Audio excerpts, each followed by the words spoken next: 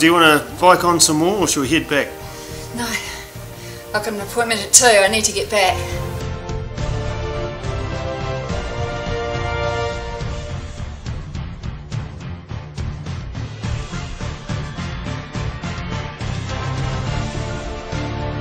That was great. Can you take my bike and helmet for me? I need to get showered and changed before I see this client.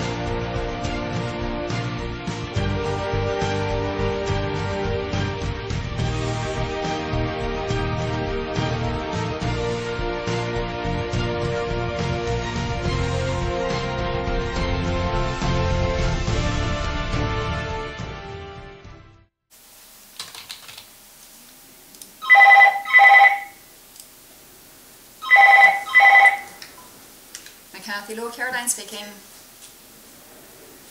Hi, yes, speaking. You want to sell your house? Sure, we can act for you doing that. And you're recently separated, so there'll be some parenting and property relationship property. How many children? Eight children? Sorry, what was it? Five different mothers and you've been married to three of them. So let me just get this straight. You've got eight children from five different relationships and you've been married three times. The house is owned by a trust. Okay. And were you going to apply for legal aid?